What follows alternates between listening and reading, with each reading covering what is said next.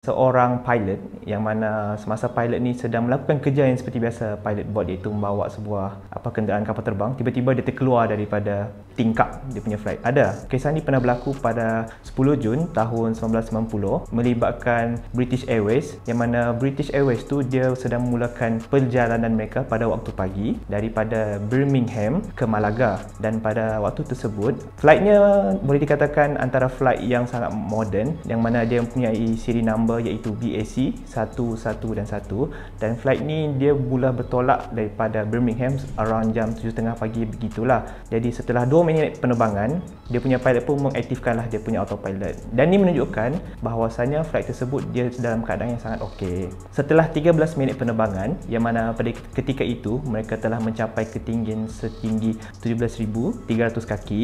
Dan tiba-tiba tiada angin tiada ribut kau tengah drive relax je autopilot semua tiba tiba-tiba adalah bunyi satu genggaran tingkap tu. Dia macam terbuka dan telah menyedut pilot utama dia terkeluar daripada tingkap tu hampir terkeluar daripada flight tapi yang selamatnya pilot tersebut dia tak terkeluar sepenuhnya. Hampir seluruh badan dia terkeluar tapi kaki dia tu dia tersangkut dekat bahagian dalam flight. Dan ini telah menimbulkan mestilah menimbulkan kerisauan kan? Semua orang panik. Bila mana pilot tu dah nak terkeluar angin pun masuklah dalam flight tu. Dan menyebabkan tekanan angin dalam flight tu tinggi menyebabkan semua angin masuk dan orang pun dah mula panik. Jadi co-pilot dia pada masa tu iaitu Etisa dia pun nampaklah kejadian tu memang terang mata dia nampak. Yang dia punya kapten hampir di keluar daripada flight. Sebab kalau captain dia tu disudut keluar daripada flight dan captain dia tu masuk ke dalam enjin pesawat ah, benda ni boleh menyebabkan satu daripada enjin pesawat tu tidak berfungsi lah dan akan meningkatkan lagi risiko flight tersebut untuk menjunam. Tapi Etisa ni dia relax, dia santai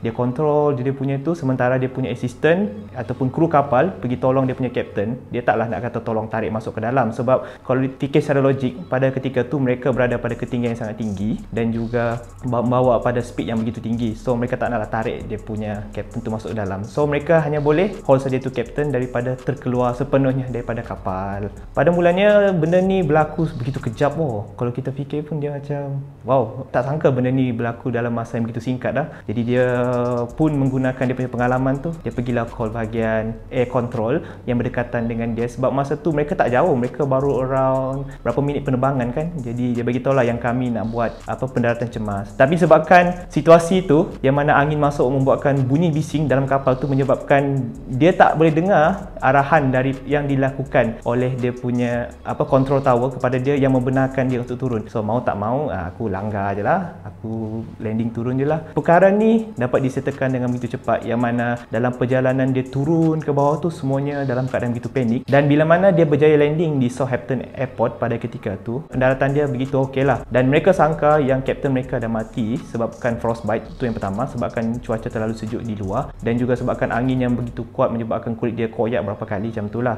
dan bila mana dah sampai-sampai rupa-rupanya kapten dia masih lagi hidup. Cuma dia terkena frostbite lah. Maksudnya ada sebahagian daripada anggota badan dia tu memang hmm, tak tahulah frostbite macam mana kan memang biru habis-habis lah. Dan pada akhir penerbangan ni dia sebenarnya memberi satu kenangan yang sangat mengujakan kepada kedua-dua mereka. Tapi persoalan di sini macam mana flight tu punya tingkap boleh terkeluar? Jadi setelah melakukan melakukan kajian demi kajian dan kajian yang dilakukan oleh plane investigator mereka pun mendapati bahawasanya flight tersebut telah di maintenance sehari sebelum penerbangan dan bolt yang digunakan untuk mengunci tingkap pada flight tu sedikit kecil berbanding yang sepatutnya digunakan. Dalam erti kata lain dia punya diameter tu lebih kecil daripada yang sepatutnya lah. Dan ini telah menyebabkan perkara seperti tadi tu berlaku. Ini menunjukkan bahawasanya macam mana sedikit kesilapan manusia seperti ini boleh menyebabkan masalah masalah besar seperti ini terjadi kepada seseorang.